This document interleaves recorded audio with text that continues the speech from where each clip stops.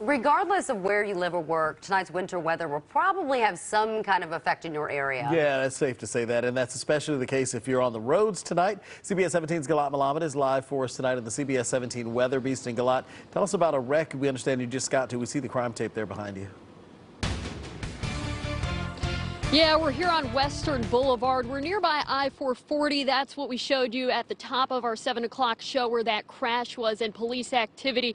You see Western Boulevard is closed from Kent towards I-440. Early police say a crash happened and one person who was in the car, they got out of the car after this this crash and they were hit by another car. That person was taken to the hospital. Part of Western Boulevard is closed here. You see the side of the road going away from 440 towards Kent is open, but we saw several Raleigh police cars when we were closer to 440 where that accident happened. Again, one person was taken to the hospital from that incident. Raleigh police say there was a crash, and when that person got out of the car, they were hit by another vehicle.